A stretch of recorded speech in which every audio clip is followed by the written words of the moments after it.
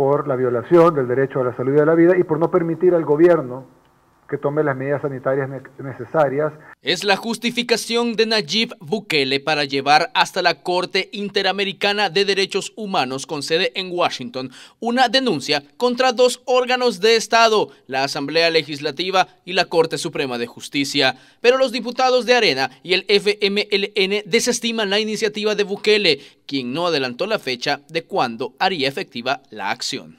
Es absolutamente fuera, de, fuera de todo parámetro.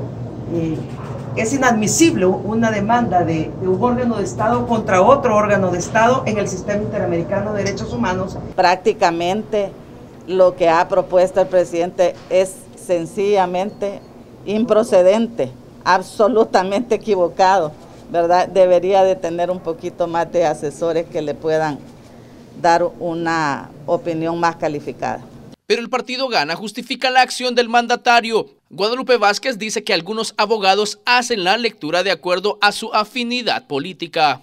Es viable. Eh, cualquiera persona que conozca las leyes, ¿verdad? Claro, si usted ve a un abogado de izquierda va a decir que no. Usted ve a un abogado de derecha, perdón, va a decir que no porque ellos interpretan a su sentimiento político partidario y no a lo que dice el derecho internacional sobre los derechos humanos de, los, de, cada ciudadano que son universales. El artículo 44 de la Convención Americana de Derechos Humanos faculta a las personas a presentar peticiones que contengan denuncias o quejas de violación de la Convención por un Estado. Con imágenes de Roberto Martínez, Inmar Batres, Noticiero Hechos.